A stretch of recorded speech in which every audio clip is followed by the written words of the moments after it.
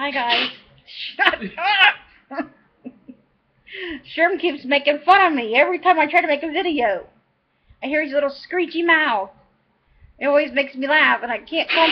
Stop it! See how he is? He always does this to me. When I try to take my medicine or anything to get me to choke it up. Stop it. I'm trying to read my friend a story. Go to the bathroom. Alright. This story from the good old days is called Shut up!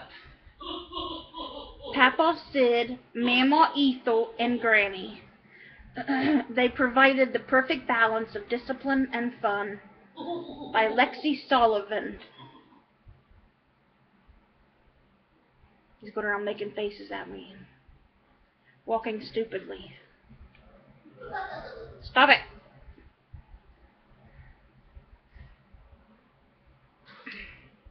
I was blessed to have a wonderful grandparents on both sides of my family.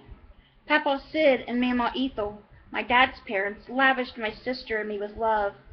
Papa in his quiet way, with a smile and a twinkle in his eye, and Mama in her open, emotional away, often gathering us in her strong arms, hugging us to her ample bosom, and planting kisses all over us. We never doubted their love and our place of importance in their lives. Perhaps it was because my dad was practically an only child. I could say something about that, but I'm not going to. Sherm's an only child, and he doesn't get no attention. I had to say it. Because he's always saying that, so. Maybe it was because their own little girl had died when she was only five days old and my dad was five. But Papa and Mama took on their role as grandparents with extraordinary zeal. They seemed to have one unspoken rule: if the girls want to do something and it's safe and possible, let's do it. If we wanted to go swimming in the middle of a hot summer afternoon, Mama would walk with us to Papa's nearby car repair shop and say, "Sidney, these girls want to go swimming." He would close the shop and take us.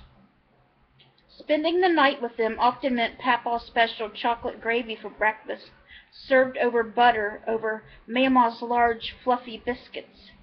Other times it might be buttered toast smeared with Mama's homemade strawberry jam.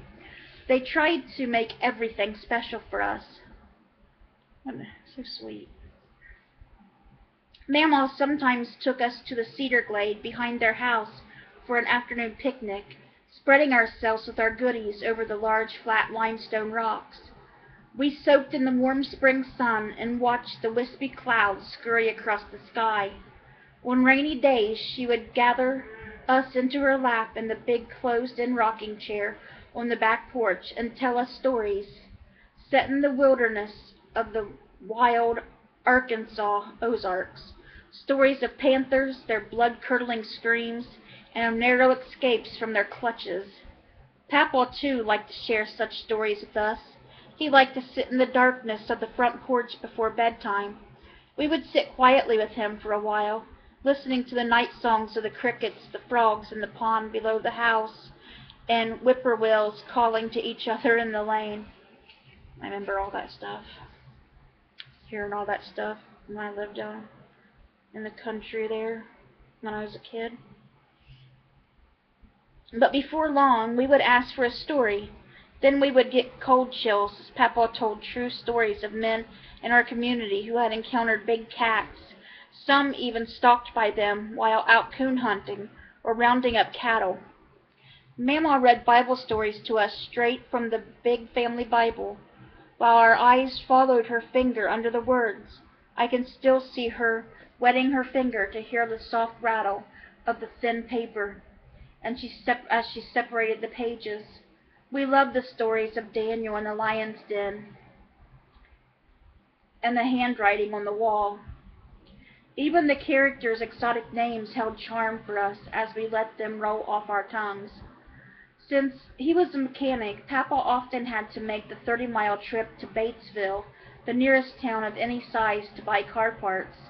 My sister and I looked forward to these trips because they could always count on getting an ice cream cone on the way home. The one particular trip Mama took us to Sterling's, the five and dime store, and let us choose the dress and shoes we wanted. I chose a frilly, shoddy made dress and bright green shoes. I wore them to church the following Sunday, and I'm sure my mother was embarrassed. She was a meticulous seamstress and made all of our clothes. Her taste in fashion was modest, as well as the green shoes must have been particularly offensive. But Mama Ethel simply wanted us to have what made us happy. Granny, my mother's mother, was loving, but cut from a different emotional material. She was quite an orderly and expected us to behave. We liked to go to Granny's and spend time with her, but we knew she wouldn't give us just anything we wanted. She knew it wasn't good for us, and we knew she would not allow any kind of misbehavior or naughtiness. We were blessed to have her firm hand. She provided the balance we needed without her discipline. We might have been real stinkers. Granny was a practical and unselfish woman. She saved her saved she saved her money to buy fabric so Mom could make our clothes. She and Grandpa paid us ten cents a quart to pick their strawberries.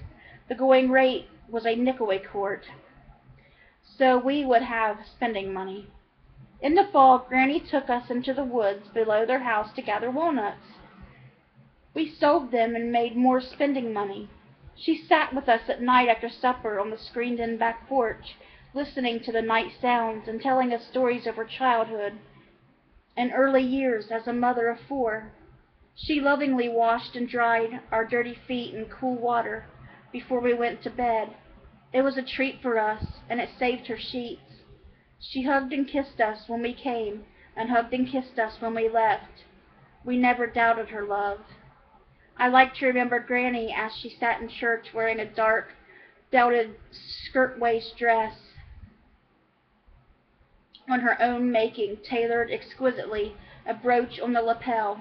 Her hair dark, even into her seventies, was short and wavy from her weekly trip to Oshie's beauty shop.